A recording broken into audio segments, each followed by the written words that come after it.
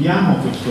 lungo ma molto interessante giro di tavolo con eh, Gianni Russo, la WISP, a chiedo uno sforzo particolare di, di sintesi. Gianni, eh, si è molto parlato del, dell'integrazione delle conoscenze, eh, voi siete uno degli stakeholders principali per realizzare azioni davvero efficaci c'è bisogno anche di molti saperi dal basso e soprattutto di chi più me lo vive tutti i giorni. Ringrazio anche io CIRC per questa occasione importante, insomma con CIRC c'è una collaborazione di antica data, non solo con CIRC, anche con gli amici del WWF di Legambiente. Io qui rappresento la WISP, il settore ambientale, in particolar modo eh, sono eh, referente della WISP a Pavia. Noi i nostri praticanti eh, tra le varie cose fanno l'attività di discesa fluviale e quindi scendono i fiumi solo in Italia ma altrove e quindi noi ci riteniamo insomma, portatori di conoscenze particolari, siamo sempre non tecniche, siamo sostanzialmente un gruppo particolare di cittadini che, che fanno comunque eh, pratiche di conoscenza del territorio. Le nostre attività ci portano, no, nostro cioè, inconsciamente ad avere una visione sistemica del fiume. Noi scendiamo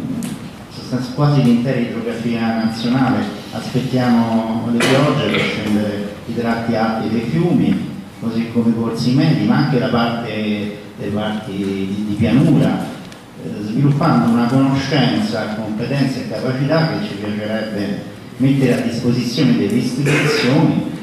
perché potremo anche essere noi, in collaborazione con tante altre esperienze associative,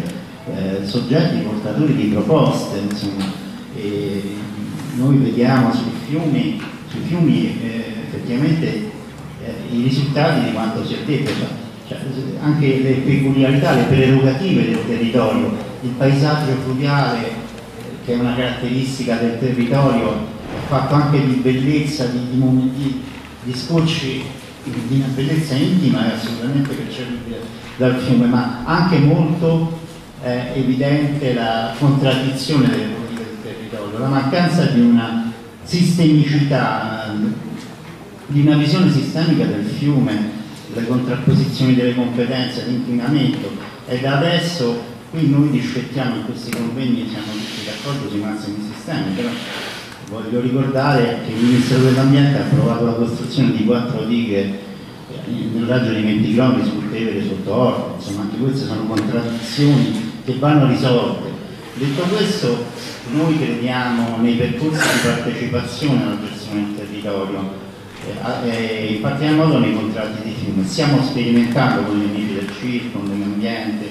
con eh, il WWF e con le amministrazioni locali un, dei percorsi che gradualmente mettono insieme, mettono a rete le conoscenze del territorio, perché secondo me l'elemento conoscitivo, la mappa rappresentativa delle conoscenze del territorio e anche del valore non solo fruitivo, quello identitario, perché le nostre, le, nostre comunità riparie sono, sono, comunità fluviali antiche che sono nate eh, grazie ai fiumi, si è persa un po' questa memoria, noi qui siamo nella capitale d'Italia che è un'antica comunità fluviale che ha perso la memoria dei suoi fiumi e parlo al plurale, non c'è solo il Tevere, c'è anche la mia, ci sono tanti altri eh, rivoli che confluiscono in quello che è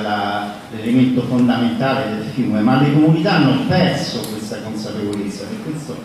il problema eh, dei cittadini che non riconoscono, non hanno consapevolezza delle, della complessità dei problemi del territorio con le nostre attività noi cerchiamo di, di crearla questa consapevolezza e auspichiamo appunto un coinvolgimento istituzionale delle nostre esperienze.